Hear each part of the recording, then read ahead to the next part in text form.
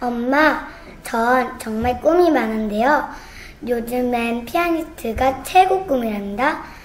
음, 피아니스트가 되려면 복잡한 악보를 잘 읽고 외워야 해서 똑똑해야 하고 연습을 많이 해야겠죠? 또한 작곡도 하고 후배를 가르쳐주는 멋진 선배가 되고 싶어요.